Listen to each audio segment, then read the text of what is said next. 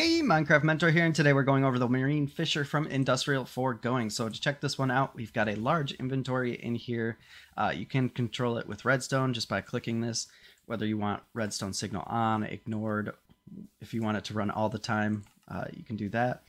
You have your standard Industrial Foregoing inputs and outputs. So if you click this, you can push an item out of the input into a chest, or you can pull items in, which this particular one, you actually can't pull items into the inventory, I don't think, and why would you?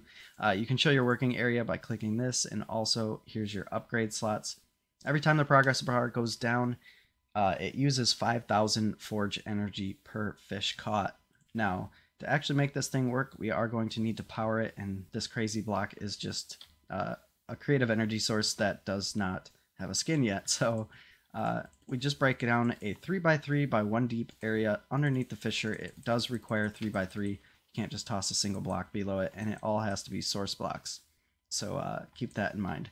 Now, every time this drops down, it has a random chance to catch something that you would be able to catch using a fishing pole. So as you can see, most of the time it's probably going to catch raw cod or salmon, once in a while you might get a bowl or something valuable, possibly even enchanted books if that's still in the loot tables. I'm not sure in this version of Minecraft, but uh, it's pretty useful. And there you go, some leather boots.